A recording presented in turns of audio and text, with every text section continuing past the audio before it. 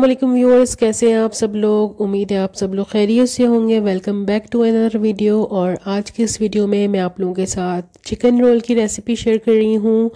और बहुत ही अमेजिंग से बने थे पराठा रोल तो मैंने सोचा आप लोगों के साथ क्यों ना इसकी रेसिपी शेयर कर दी जाए। तो फ्रेंड्स वीडियो को स्टार्ट करने से पहले मैं आप लोगों के साथ ये कहना चाहूँगी, मेरी फेवरेट लाइन कि अगर आपको मेरी ये वीडियो पसंद आती है तो इसको लाइक ज़रूर कर दें और अगर आप मेरे इस चैनल पर न्यू हैं तो मेरे चैनल को सब्सक्राइब ज़रूर कर लें। और आप मुझे इंस्टाग्राम पर भी फॉलो कर सकते हैं, इसका लिंक मैं डिस्क्रिप्शन के अंदर शेयर कर रही हूँ। तो फ्रेंड्स इस वीडियो को एंड तक ज़रूर देखिएगा। बहुत ही अमेजिंग सी रेसिपी है। इस रेसिपी को भी ज़रूर ट्राई कीजिएगा। चलिए, ज़्यादा टाइम ना वेस्ट करते हुए स्टार्ट करते हैं अपनी इस वीडियो को। अच्छा तो मैंने चिकन ले ली है तकरीबन आधा किलो बोनलेस और इसको हम जल्दी से मैरिनेट करेंगे। मैंने इसको वॉश करके अच्छी तरह से और इसको नितारने के लिए रख दिया था। अब ये अच्छी से ड्राई हो जाएगी तो हम इसको फिर मैरिनेट करेंगे, ठीक है? आपने इसको मैरिनेट करके तकरीबन डेढ़ से दो घंटा रखना है और आप जितना ज़्यादा रखते हैं उसको, उतना ही अच्छा होगा, ठीक? और दूसरी तरफ़ मैंने मसाले रेडी करके रखे हैं तो ये हम मैरिनेशन के अंदर हम ऐड करेंगे।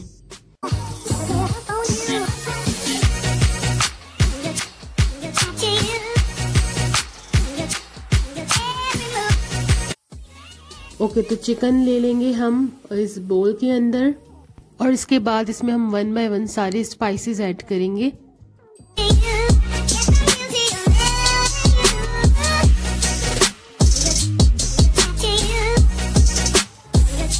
तो ये सारी चिकन अच्छे से ड्राई हो गई है। और अब जो है, इसके अंदर हम सारे स्पाइसेस ऐड करेंगे। तो सबसे पहले मैं नमक ऐड करूँगी इसके अंदर तकरीबन वन टीस्पून और आप अपनी चिकन की क्वांटिटी के अकॉर्डिंग ले सकते हैं नमक। ये वन टीस्पून लहसुन अदरक का पेस्ट मैंने ले लिया है, ये मैं ऐड करूँगी इसके अंदर। जर्दे का रंग मैं थोड़ा सा इसमें ले लूँगी।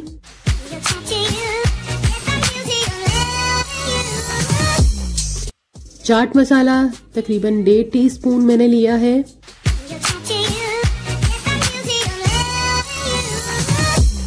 तंदूरी मसाला मैंने ले लिया है तकरीबन टू टीस्पून। आप इसके जगह पे लाल मिर्च भी ऐड कर सकते हैं।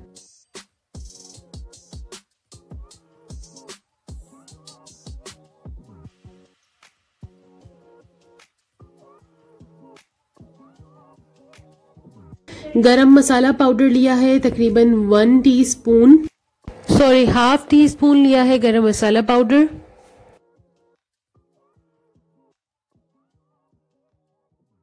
और इसके साथ ही मैंने सिरका ले लिया है तकरीबन वन टीस्पून और इसकी जगह पर आप लेमन भी ले सकते हैं। और दही मैंने ले लिया है तकरीबन वन कप।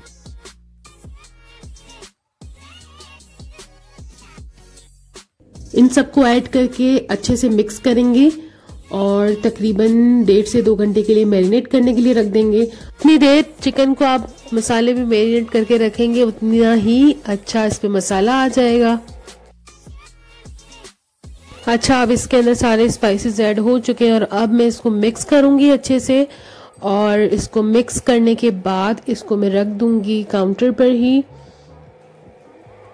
उतनी देर में हम पराठे का डो रेडी कर लेंगे और पराठे का आटा बनाने के लिए मैंने ले लिया है मैदा और इसके अलावा मैंने इसके साथ ले ली है शक्कर ले ली है मैंने वन टीस्पून वन टीस्पून मैंने ले लिया है नमक। और टू टेबल स्पून मैंने ले लिया है ऑयल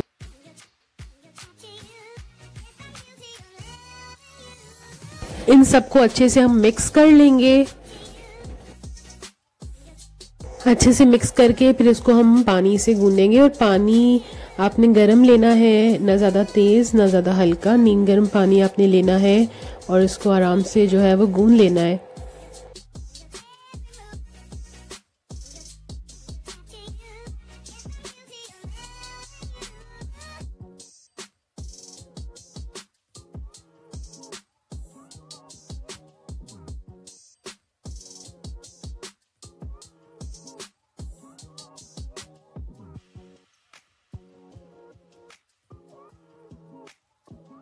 ये देखें, डो हमारा तकरीबन रेडी हो चुका है और एंड में इसको हम जो है वो ऑयल से थोड़ा सा गून लेंगे।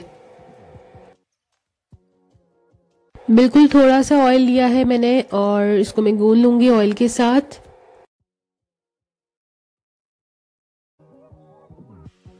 ये देखें, पराठे का डो हमारा बिल्कुल रेडी हो चुका है और इसको मैं ढक कर रख दूँगी तकरीबन 15 से 20 मिनट तक। इसको हम रख देंगे तो अच्छे से सेट हो जाएगा। ओके तो इसको मैं ढक दूँगी और अब हम चलते हैं अपनी चटनी की तरफ़। और हमने चटनी जो है, दही की बनानी है और दही मैंने छान लिया है। एक्स्ट्रा पानी जो है वो उसका मैंने बिल्कुल निकाल दिया है क्योंकि हमें जो सॉस चाहिए वो बिल्कुल गाढ़ा सा चाहिए। तो अब इसको मैं फेंट लूँगी। आपने मेक श्योर sure करना है कि इसमें कोई भी लम्ब ना रहें और इसको अच्छे से बिल्कुल फेंटना है। और फिर इसको फेंटने के बाद हम इसके अंदर स्पाइसेस सारे ऐड करेंगे। तो मैंने ये पीस के रखा था। हरी मिर्च और पुदीने का पेस्ट पीस के रखा था। इसके अंदर शामिल है हरी मिर्च, पुदीना और लहसुन अदरक। ठीक है तो इसको मैं ले लूँगी इसके अंदर। और आप इसको ऐड कर सकते हैं अपने फ्लेवर के हिसाब से। मैं इसके अंदर टू थ्री स्पून जो है वो ऐड करूँगी। और इसको फिर अच्छे से मिक्स कर लेंगे हम।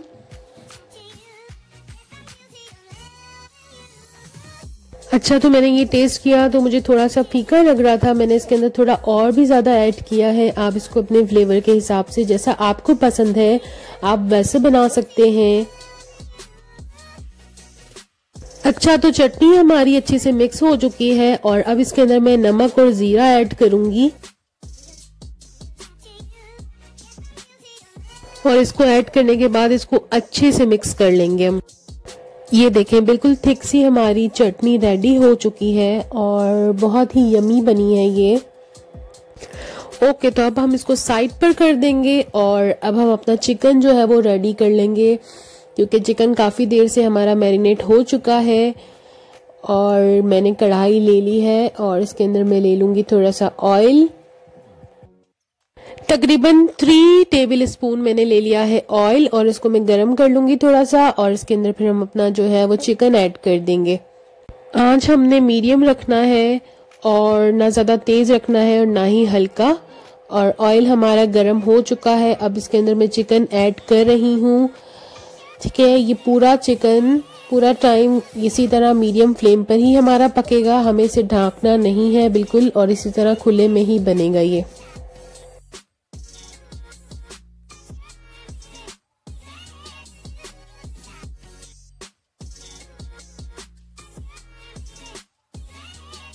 ये देखें, इसी तरह ये फ्राई होता रहेगा और इसी में ये बिल्कुल गल भी जाएगा और बिल्कुल इसी तरह से इसको मुझे रखना है, इसको अब कुछ भी नहीं करना, ठीक है? आपने इसको वैसे ही छोड़ देना है, बिल्कुल।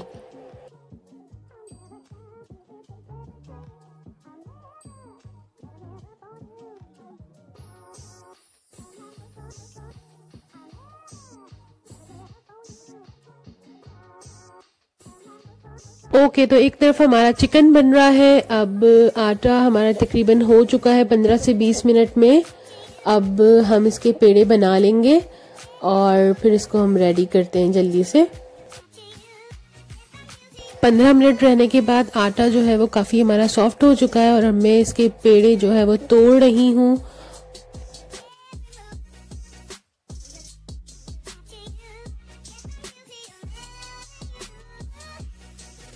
ओके तो पेड़ों के लिए इक्वली आटा तोड़ने के बाद अब मैं इसके पेड़े बना रही हूँ।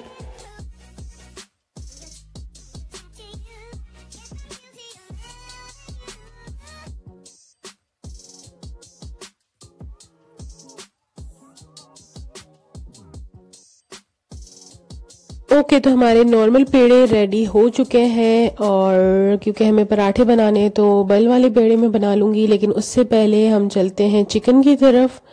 और ये देखें चिकन हमारा बिल्कुल इसी तरह से फ्राई होते हुए बन रहा है। क्योंकि इसके अंदर हमने दही ऐड किया था तो उसकी वजह से ये सारा इसका पानी निकला है और इसी में ये सारा बनता रहेगा।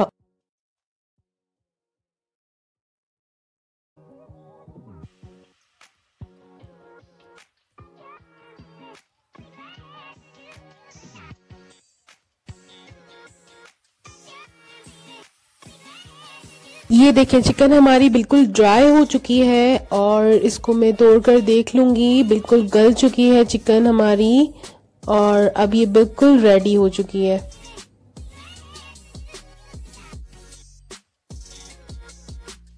ओके तो अब हम अपने पराठों के पेड़े रेडी कर लेंगे और इसके लिए मैं रोटी को इस तरह से बिल्कुल बेल लूँगी और इसको ऑयल लगाकर इस तरह से फोल्ड कर लूँगी और इसी तरह से हम सारे पेड़े जो है वो रेडी कर लेंगे। और इसी तरह मैंने सारे पेड़े रेडी कर लिए हैं। और दूसरी तरफ़ मैंने अनियन रिंग्स भी रेडी कर लिए हैं।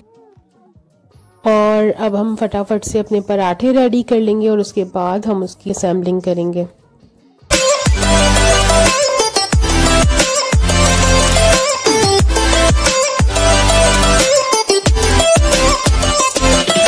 और अब हम इसको दोनों साइड से सेक लेंगे, बिल्कुल रोटी की तरह।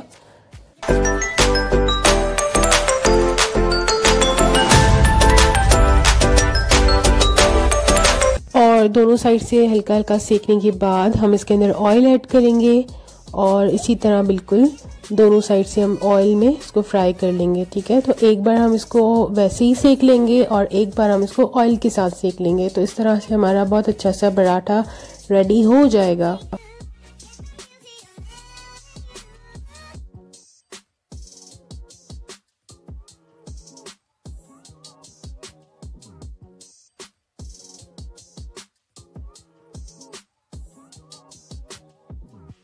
ये देखें पराठा हमारा रेडी हो चुका है। बिल्कुल ड्राई सा बना है पराठा। और अब हम करते हैं इसकी असेंबलिंग